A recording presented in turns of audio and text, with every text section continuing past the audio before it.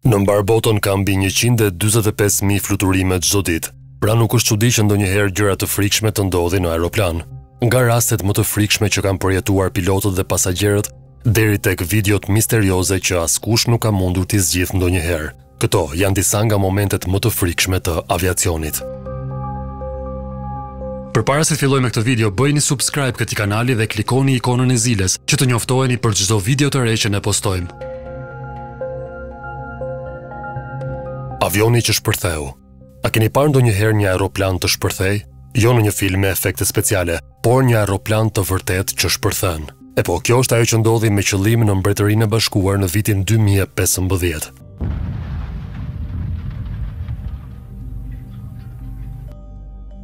Sigurisht askush nuk ishte në këtë aeroplan kur u hodh në erë, por megjithatë ishte diçka mjaft e rrallë. Shpërthimi u realizua për të parë se si do të reagonte një aeroplan ndaj një sulmi me bombë. Ata përdorën një Boeing 747 dhe kjo do të thotë se ky test kushtoi 387 milion dollarë.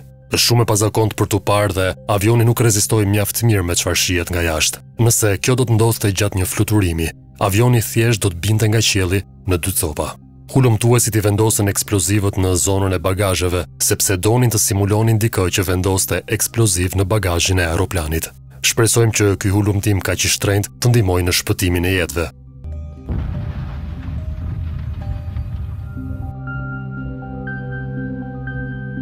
Ulja në rrugë Kjo ndodhi në Parkland, Washington, në vitin 2019. Një makinë policie po lëvizte në një rrugë dhe gjithçka dukej normale. Pikërisht në atë moment, një aeroplan ulet në rrugën pranë tij. Piloti duhet të ketë qenë shumë i mirë sepse nuk goditi asgjë. Avioni bëri uljen dramatike në rrugë dhe më pas u ndal në fund të saj.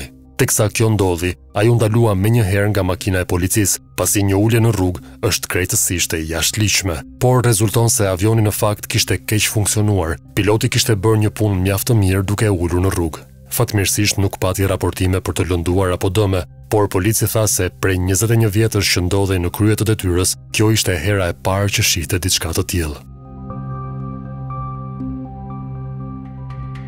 Aeroplani misterioz. Një ditë në Los Angeles, një vëzhgues i quajtur John Graff po filmonte një aeroplan të zakonshëm. Avioni sapo ishte nisur nga aeroporti dhe po fluturonte, Në atë moment, në një pjesë të sekondës, një avion më i madh fluturon pikërisht përballë këtij avioni dhe më pas largohet jashtë rrezes së kamerës. Oh, that was nice. Anybody see that?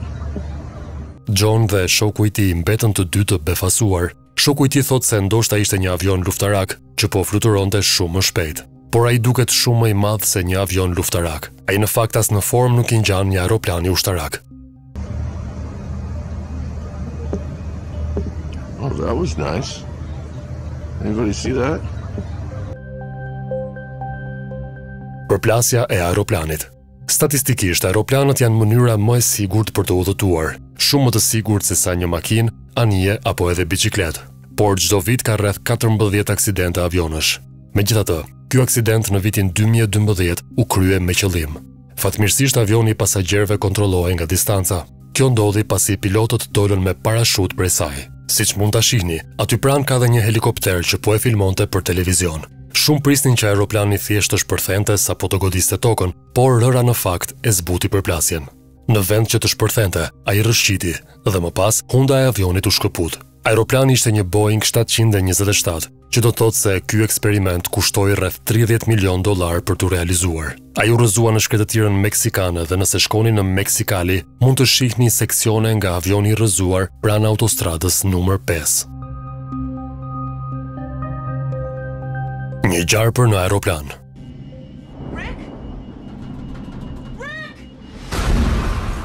Ndërsa një aeroplan ishte në ajër, një gjarpër zbriti nga ndarja e sipërme. Duke përdorur revista dhe një batanije, dy nga pasagjerët ishin në gjendje të kapnin këtë zvarranik. Kjo ndodhi në vitin 2016, në një fluturim të Aeromexico. Aeromexico deklaruan se nuk ishin të sigurt se si gjarpri kishte arritur të futej brenda në aeroplan. Fatmirësisht, ata mundën të bënin një ulje emergjente dhe ta hiqnin gjarprin nga avioni. Aeroplani fantazmë. Kjo video u kap gjatë natës në një aeroplan, ku shumica e pasagjerëve nuk ishin në dijeni për atë që po ndodh. Shumë prej tyre mbanin kufje dhe po shihnin ndonjë film, por një pasagjer vazhdon të shohë diçka shumë të çuditshme që lëviz pranë njërës prej sediljeve. Duket se është një lloj fantazme. Në seksionin e komenteve një person tha se ndoshta dikush po pinte duhan, por në ditët e sotme, pirja e duhanit është e ndaluar në çdo avion. Gjithashtu, ngarkuesi nuk e përmendi këtë. Çfarë mendoni se mund të jetë kjo?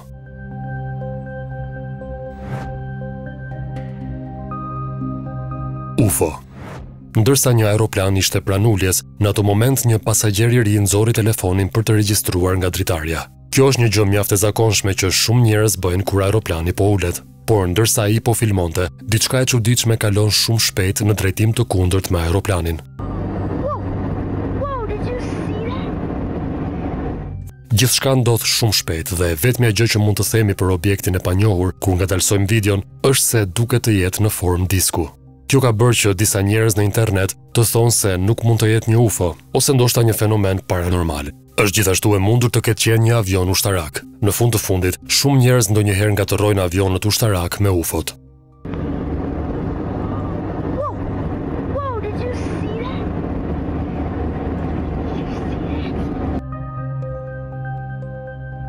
Zbarkimi në stuhi Siç e kemi thënë tashmë, fluturimi me aeroplan është mjaft i sigurt, por pjesa më e rrezikshme e çdo fluturimi është ulja. Kjo sepse në atë kohë ndodhin incidentet më të shumta. Në vitin 2008, një aeroplan po ulej në aeroportin e Hamburgut në Gjermani. Ndërkohë aty po ndodhte një stuhi e tmerrshme, e cila arrin të ndikojë aeroplanin që po ulet. Avioni anohet nga njëra anë në tjetrën dhe madje gërvisht krahun e tij në pistë. Fatmirësisht, 136 personat në bord ishin në rregull. Një hetim zbuloi gjithashtu se sistemi kompjuterik i Airbus kaloi në modalitetin tokësor, që do të thoshte se kompjuteri mori përsipër veprimet dhe kufizoi fuqinë e pilotëve gjatë uljes.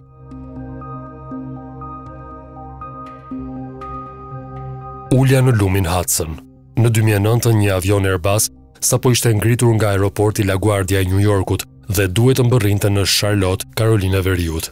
Në bordin e aeroplanit ndodheshin 5 anëtarët e ekuipazhit dhe 150 pasagjerë. Pas rreth 2 minutash në fluturim, aeroplani goditi një tufë patash kanadeze. Të dy motorët u dëmtuan rëndë, duke shkaktuar një humbje pothuajse të plotë të shtytjes. Përpjekjet e përsëritura për të rindezur motorët ishin të pasuksesshme. piloti Sullenberger njoftoi kontrollin ajror të La Guardia se ai po kthehej në aeroport. Megjithatë, ndërsa avioni vazhdonte të humbiste lartësi, Sullenberger besonte se nuk do të ishte në gjendje të arrinte në La Guardia. Menjëherë pas kësaj, ai njoftoi kontrollin ajror se do tentonte një ulje shumë të rrezikshme dhe të rrallë në ujë, në lumin Hudson. Sullenberger njoftoi pasagjerët, "Bëuni gati për përplasje."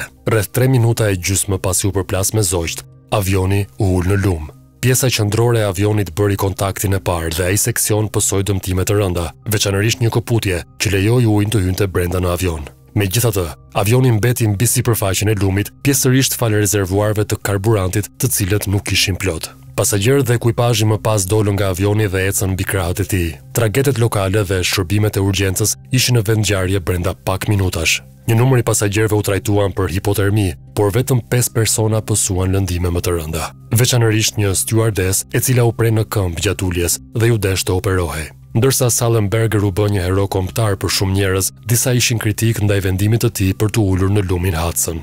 Megjithatë, një hetim i gjatë nga Bordi Kombëtar i Sigurisë së Transportit doli në përfundimin se vendimi i tij për të zbritur në Hudson ishte i përshtatshëm.